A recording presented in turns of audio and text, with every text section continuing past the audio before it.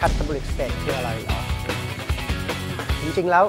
state คือสถานะคือสภาวะเนาะแล้วก็ catabolic คือการย่อยสลายสองคำรวมกันก็คือสภาวะที่เฮ้ยร่างกายมีการย่อยสลายของกล้ามเนื้อ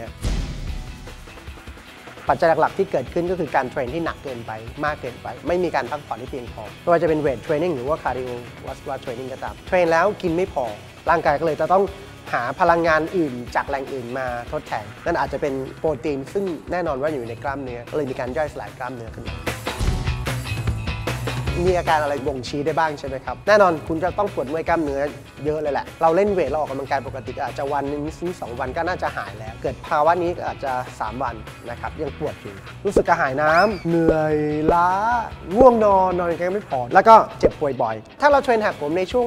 ระยะเวลาสั้นๆจริงไม่ค่อยเกิดเรามาเทรนร่างกายเนี่ยมันจะทำให้เกิดความเครียดที่ร่างกายทีนี้เวลาเครียดคุณก็บอกว่าคุณสู้ได้ก็เครียดต่อไปเทรนต่อไปหนักไปเรื่อยๆ ปัญหาก็เลยเกิดขึ้น การเทรนคือการทำให้ร่างกายมันเริ่มมีการย่อยสลายนั้นร่างกายต้องมีการพักผ่อน ช่วงพักผ่อนเราเรียก recovery phase ก็มีต้องใช้ระยะเวลาหนึ่งเพื่อให้มีการสร้างใหม่ ช่วงที่มีการเสริมสร้างใหม่เนี่ยมันต้องใช้สารอาหาร ปัญหาหนึ่งของ catabolic state คืออย่างที่บอกว่าเรื่องของการกินไม่พอ แล้วมีความคิดหนึ่งว่าเฮ้ยถ้าเกิดเราออกเยอะ แล้วกินน้อยๆมันน่าจะเห็นผลได้เร็วขึ้น ก็เลยกินไม่พอสองปัจจัยนี้ก็เลยส่งเสริมไป train หนักมากกว่าปกติกับการกินไม่พอพอการกินไม่พอปุ๊บอย่างที่บอกร่างกายก็ต้อง burn เอากล้ามเนื้อ มาเป็นพลังงานแทนคาร์โบไฮเดรต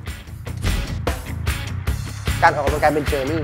นะครับคุณควรจะมีการวางแผน step 1 2 3 4โปรแกรมของแต่ละคนแตกต่าง สมมุติว่าอ่าเคยเป็นนักกีฬามาก่อน อาจจะออกตัวแล้วไปเร็วกว่าบางคนที่ไม่เคยออกกำลังกายมาเลย คุณควรจะค่อยๆเป็นค่อยๆไป ถามร่างกายคุณว่าคุณพร้อมไหมแล้วก็ให้เวลากับเขาโปรแกรมที่ perfect ที่สุดมันอาจจะไม่ได้ตอบโจทย์ คุณก็ได้ ถามตัวเองให้เวลา analysis กับตัวเองนิดนึงว่าโปรแกรมเราถูกไหมการพักผ่อนเพียงพอไหมแล้วก็การกินเหมาะสมหรือยังถ้าออกกำลังกายเสร็จคุณต้องกินอาหารให้เร็วที่สุดภายใน